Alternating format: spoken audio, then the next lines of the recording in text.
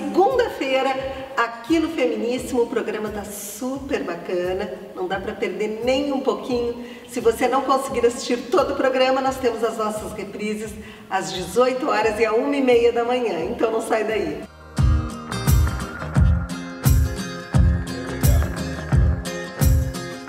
When you get older, plainer,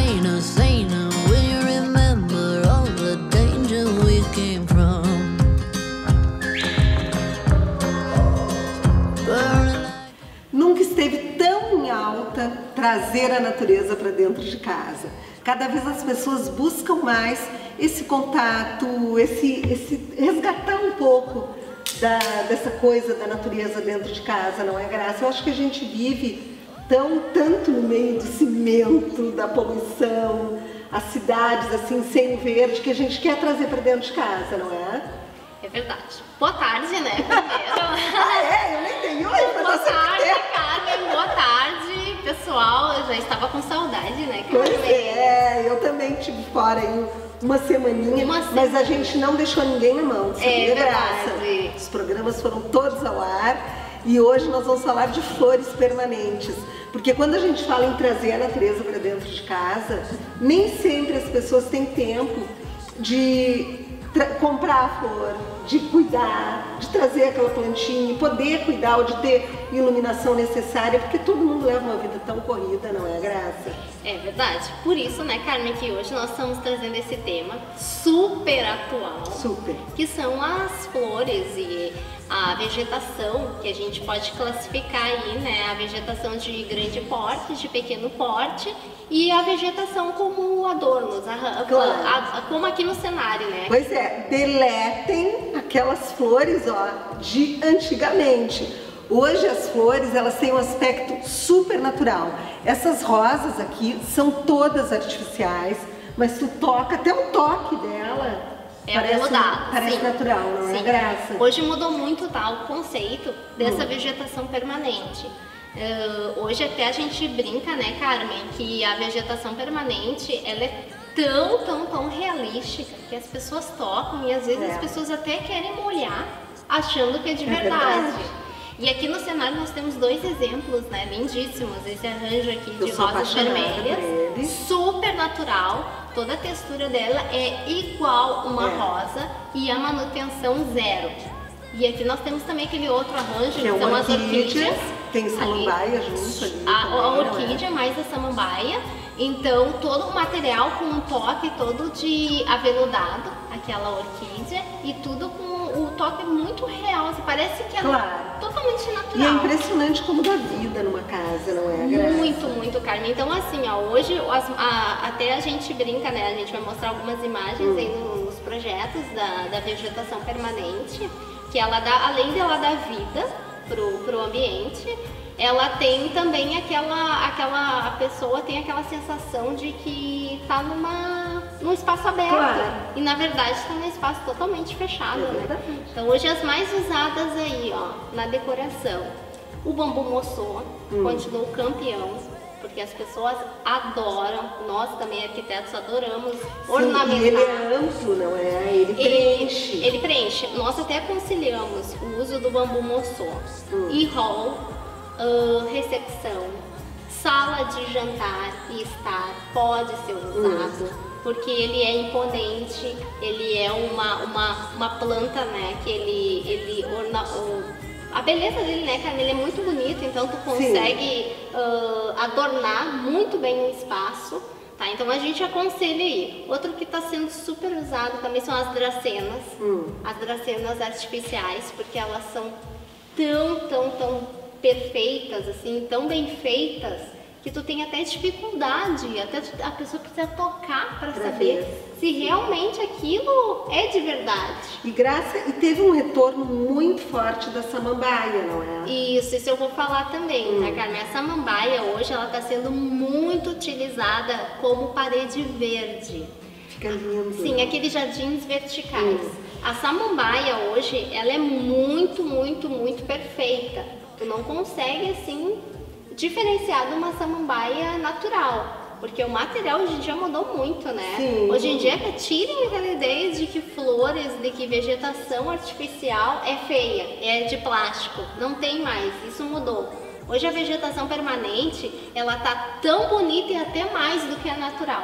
É verdade. Ela, ela evoluiu muito, viu? E as samambaias, ah, ah, carro-chefe do Jardim Vertical, assim como era, que a era tá sendo muito, eu voltou. Sim, a era voltou. A era é usada mais ou menos aonde? Geralmente a gente usa a era em parede verde também, em Hum. Também. jardim vertical. Se usa bastante, se usa muito também embaixo de escada. Tu quer ornamentar, Claro. porque a era ela tem aquele desenho, né? Sim, que ela tem todo cascata. aquele balanço. Ela é muito usada também em, em aéreo, né? Em vaso aéreo, que tu pode ter todo aquele movimento. É, outra coisa que a gente usa bastante são as orquídeas.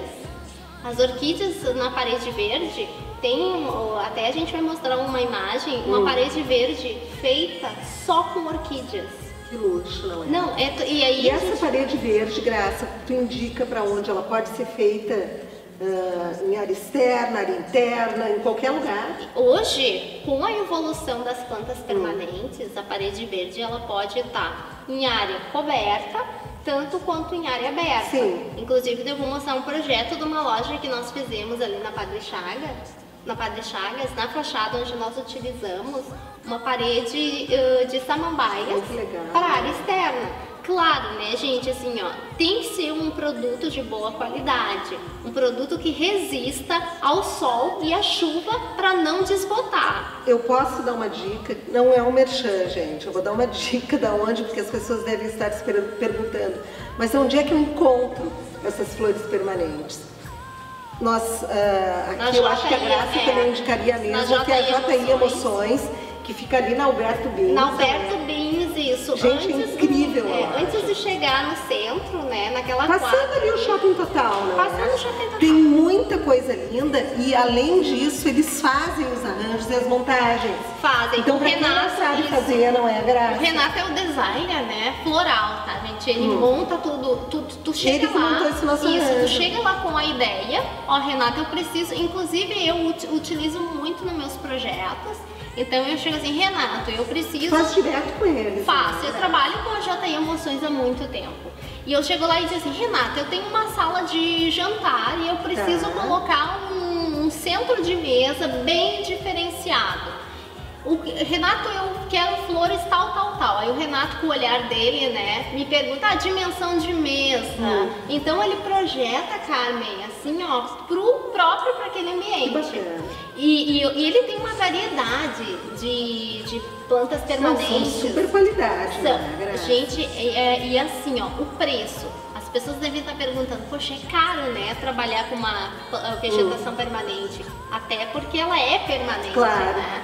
Mas não, gente, assim, ó, compensa. Compensa muito. Compensa, porque é, as pessoas que gostam de flores e que costumam em todo final de semana comprar flores naturais para colocar em casa, tu sabe que é caro. É, e Tu vai não fazer dura uma, tanto, uma né? só, Claro, né? E não dura, né? É. O- hoje eu, por, Tem por que estar trocando toda semana. Isso, por que, que o conceito das plantas permanentes está tão em alta?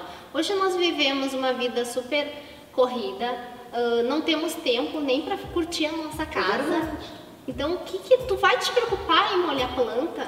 É. Não, né? Então, para facilitar a vida das pessoas, a gente usa muito como peça de decoração e como elemento Sim, ela também. é praticamente um objeto de decoração. É, né? mas ela também tem um, ela também serve, Carmen, como conforto ah, visual e térmico, Claro. né? Porque depende da, da, da, da vegetação. Nós temos a, a vegetação também que é aquela, os musgos escandinavos, que nós vamos falar São num outro programa, também. que aquele musgo ele é natural, ele absorve toda a umidade do ar. Esse é o que tem na Luísa. Esse é o que tem no estúdio da Luísa Pilau, que nós vamos falar essa semana no Arquitetando Ai, sobre vale a os pena, gente. Não dá pra perder porque são lindos. São lindos. E outra coisa, o musgo escandinavo, ele entra na nossa proposta de flores permanentes, de vegetação permanente. Não precisa molhar. Porque ele não precisa molhar. Ai, que bárbaro. Não, ele não precisa de água, ele É. se alimenta só da umidade do ar. É fantástico. E a gente aconselha assim, ó.